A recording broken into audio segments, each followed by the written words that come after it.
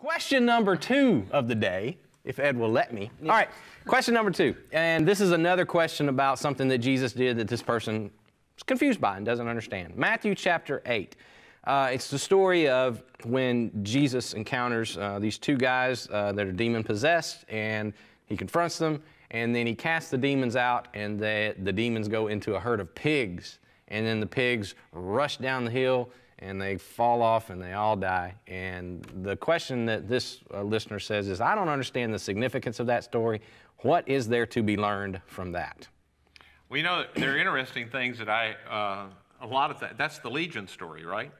He Yes. does. He, he In does. one account, yes, and the The other other no. account now, okay. The- yeah, but right. yes, you are correct. Yeah, that he says, "Who are in your legion? We're, we are legion." The demons The say demons that. were- Yeah. We're- we are legion. Yes. Uh, so I have an interesting part for all of that that I just recently learned, but All right. that's Well, why don't you, Lay it why don't on you us. throw that in there Come and then on, we'll man. get to the other part. I do want to say, in case people were watching, wonder why I freaked out, we just blew that light bulb right there. And We did. It got really bright for a second and then really dark. So in case you saw that and you saw me act as if I was having a stroke, that's why. It was it was very disconcerting. And now that I looked over there, there are other lights. All I can see is spots. I'm sorry for having looked over there. So now. share with us your learning on this. Yes, Well, uh, so one of the interesting things about all that that I'd never thought about, and I was listening to another uh, favorite theologian of mine, and uh, talking about the fact that when Jesus came, um, a part of everything that's happening, so the demons know who he is, Of course. right. but they don't know what he's there for. In hmm. fact, I'd never thought about that, but occasionally they'll say, Jesus, what, what are you doing? Yeah, Well, do you in this story, it, I went back and reread it. They do say, "Are you here to torture us before Right. your appointed time?" Yeah, because they knew there was a they- time They coming. knew there was a time coming. Yeah. And so this guy's making the point, and I do wonder. I, you know, again, no one won't know until they get to heaven and can ask about this, but they don't know what he's doing, and so they're regularly attacking things that he's doing. And uh, you know, there's just a part of the plan of God they don't know, and so this guy's making the point of they think the best thing they can do. He's in human form, and they're thinking he's exceptionally vulnerable as a human, Mm-hmm. and so let's kill him. I mean, we kill him. Maybe in human form we'll be done with the whole thing. And of course, they don't know that by doing this thing they think it's going to be destroyed. They're actually playing into God's hand the whole time. Absolutely. And it brings about the resurrection.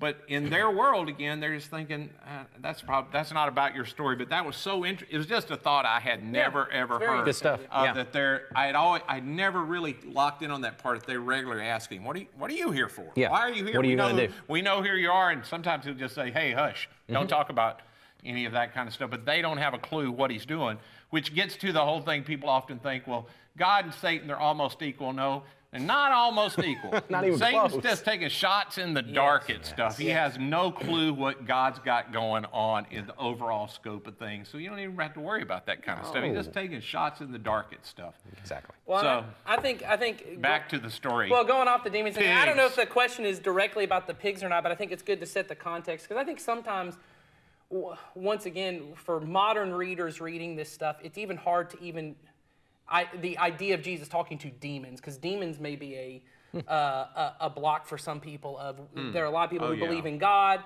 but you may not necessarily believe in demons or the devil. But that's a big part of what Jesus is doing on earth. Is we often think of just what happens at the cross being just about me and Jesus, and about my personal sin. But Jesus is really combating all the forces of evil and sin and all of this destructive power that is wreaking havoc on our world, and of course mm-hmm. our personal lives and our personal sin and all that is part of mm-hmm. it.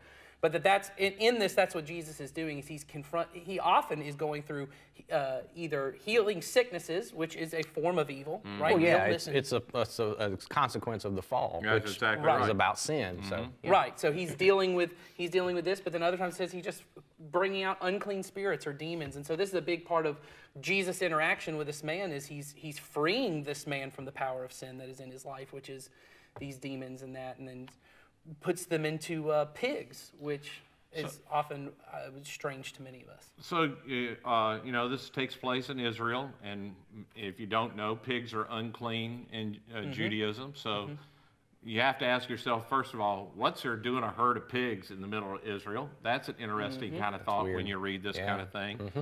And there's this guy that's so demon possessed and he hurts himself and is a danger to others, one of the Right. accounts tells us, mm-hmm. that they put him in chains and they have him outside of their town Out where the, to- the tombs are. uh, the tombs are, and very near these pigs. Now, the pigs are outside because they're unclean. We Yes. know why they're outside. Yes. Because the good Jewish people who are apparently raising the pigs, but we can't have them in Can't town. have 'em in town. They're, they're out here raising the pigs, or they've rented land or something. Who knows? Something.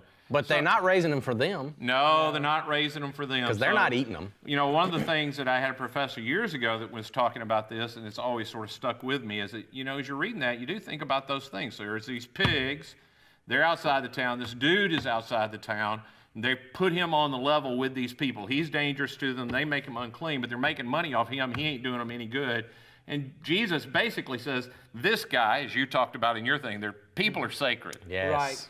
And these these are just they're just they're, They're just just pigs. things pigs. You're making money off of them. And so Jesus says these ought not to be here anyway.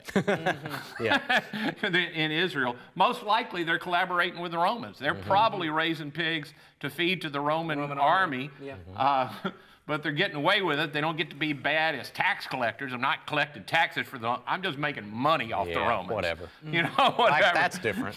so, and so he saves the one guy and Mm-hmm. takes care of the Yes. pigs all at the same time. He sets all priorities He right. said everything and probably really, really upset them that the pigs were gone. Well, it does say at the end of the story that as soon as he does that, the townspeople all come out and they go, "You need to get out of here." Yeah. They mm-hmm. kick Jesus out of mm-hmm. town.